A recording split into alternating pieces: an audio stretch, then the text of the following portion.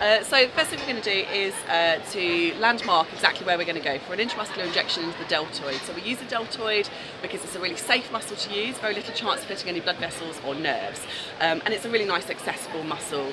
So we want to want to make sure that our um, customer or patient is wearing a, a top so that we can fully access the shoulder.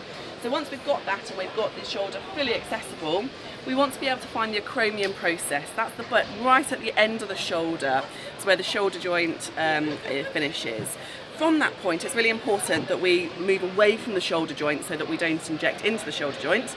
So we want to go down two and a half centimetres in the midpoint from that position. So this is the area that we're going to be wanting to inject into. So in terms of injection technique, it's really important that we hold our syringe correctly. So we want to hold our syringe like a pen. Um, holding it like this gives it really good control. So when we're giving an intramuscular injection, we're going to be stretching the skin. So on, if I show you on the actual skin here, we'd be stretching it nicely here um, to make sure that we're going into the, into the muscle. Helps to desensitize the area as well. So I'm going to be injecting into the injection pad today, um, but holding the injection like a pen, we're going to remove the sheath at the last possible moment, stretching the skin, we're going to start as close as we can to the surface of the skin and we're just going to quickly and confidently inject. We're then going to uh, depress the plunger nice and slowly, taking about five seconds to deliver that vaccine, if it's about a, a 0.5 of a mil, and then quickly and confidently remove that needle.